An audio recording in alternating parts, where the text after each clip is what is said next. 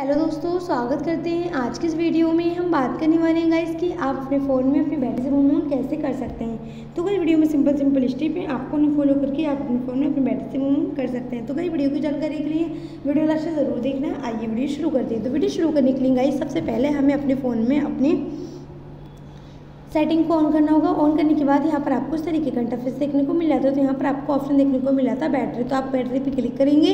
Click करने के बाद यहाँ पर आपको कई सारे ऑप्शन देखने को मिला हैं तो नीचे यहाँ पर आपको ऑप्शन देखने को मिला था बैटरी सेवर तो गाइज़ हम अपने फ़ोन में बैटरी से उनको ऑन करना चाहते हैं तो यहाँ पर आपको इस ऑप्शन को ऑन कर देना है। तो गाइज़ इस तरीके से आप अपने फ़ोन में अपनी बैटरी सेवर मोड को ऑन कर सकते हैं। अगर आपको ऑफ़ करना तो आप यहाँ से ऑफ़ भी कर सकते हैं। तो गाइज़ इस तरीके से आप अपने फ़ोन में अपनी बैटरी सेवर मोड को ऑन या ऑफ़ कर सकते हैं। तो गाइज़ वीडियो पसंद आई हो तो शेयर करें लाइक करें चैनल पर नए हो तो चैनल को सब्सक्राइब करें।